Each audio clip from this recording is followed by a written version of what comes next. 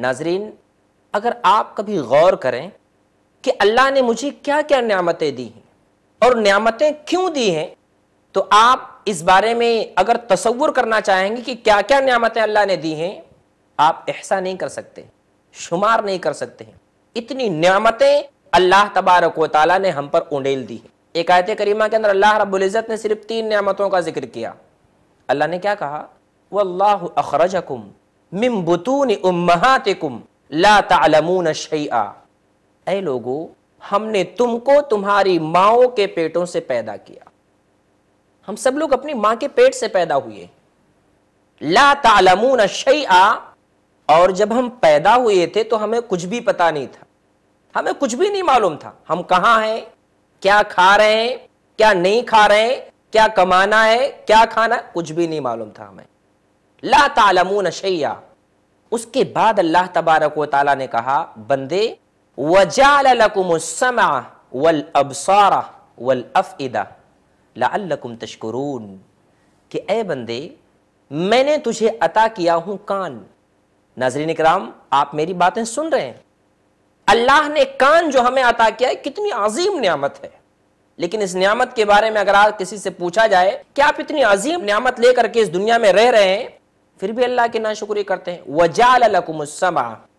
میں نے تمہیں عطا کیا ہے کان۔ وَالْأَبْصَارَ ناظرین، آپ مجھے دیکھ رہے ہیں۔ آنکھ۔ اللہ رب العزت نے آنکھیں دی۔ وَالْأَفْئِدَ ساتھ ساتھ میں اللہ تبارک و تعالی نے ہمیں دل عطا فرمایا ہے۔ کیوں یہ نعمتیں دی؟ نعمتوں کے دینے کا مقصد گناہ کرنا نہیں ہے۔ کہ ایک بندہ کان کے ذریعے سے گانے سنے۔ کان کے ذریعے سے غیبت سنے کان کے ذریعے سے دن رات کان میں ایف ایم لگا کر کے بیٹھا۔ نہیں۔ کان اللہ رب العزت نے اس لیے دیا ہے تاکہ ایک بندہ اس کے ذریعے سے اچھی باتیں سنے اور اپنی زندگی کے اندر بدلاؤ پیدا کرے۔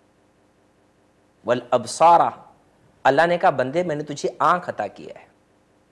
دن رات بیٹھ کر کے گندی چیزیں دیکھنے کے لیے، اجنبی عورتوں کو دیکھنے کے لیے۔ نہیں۔ والابصارہ اللہ کی اتنی ساری جو نشانیاں ہیں، ان نشانیوں کو دیکھ کر کے زمین، آسمان، سورج، چاند، ہوا، پانی، یہ تمام چیزیں بندہ دیکھ کر کے اللہ کی نشانیوں کو دیکھ کر کے ایمان لائے۔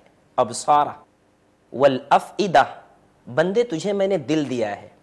تاکہ تو کان سے سننے کے بعد اس کے بارے میں غور کر، اس کے بارے میں سن۔